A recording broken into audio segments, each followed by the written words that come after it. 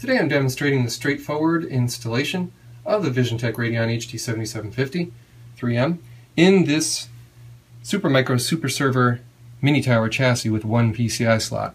Now, it's fairly straightforward and easy if you follow along with these specific directions, given I've done this a number of times. Number one, if you already have a speaker header installed, you'll want to pop that off until a little later. It'll make it easier to align the PCI card. So that's done, and there's some sticky uh, foam tape keeping it on the um, bare chassis bottom there. Now, item two, keep in mind that you've got a screw right above the PCI back plate screw you're about to try to remove. So let's get a very long magnetic tip screwdriver right down in there, and we can take that PCI back plate out very quickly by just removing the screw And this is where the magnetic tip will come in handy to avoid dropping that anywhere. Okay. Now with that freed up,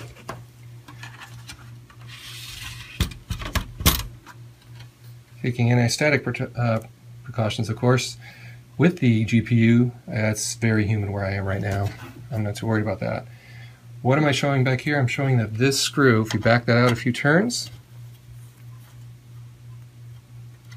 but leave it in place. We now have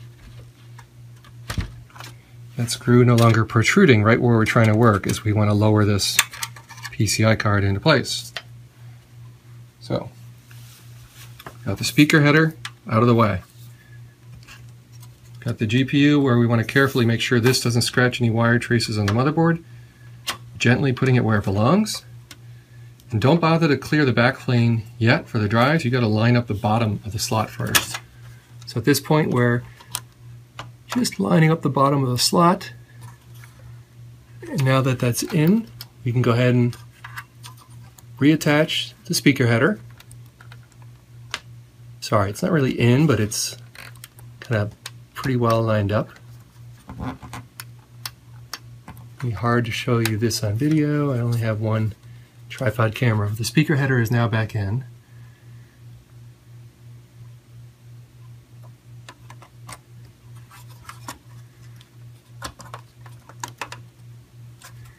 And I've got the bottom of the PCI slot lined up. I'm not using much force, just a little bit of wiggle to try to make sure the bottom of the PCI slot is lined up. Once it is, things get very easy. There, just got easy. So now that the bottom is lined up, I'm able to clear the back plate, back plane of these drives here, make it straight down so when I push down, it goes right into place, ready for me to fasten the screws in the back again.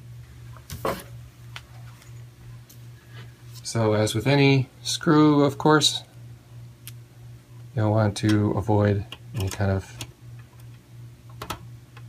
stripping the screws or cross-threading. So you want to make sure it goes in nice and easily all the way down. And it did, and it had a nice firm stop. And then of course, to finish up, tighten that down again. And we are done. The GPU is now safely and securely installed in the super server.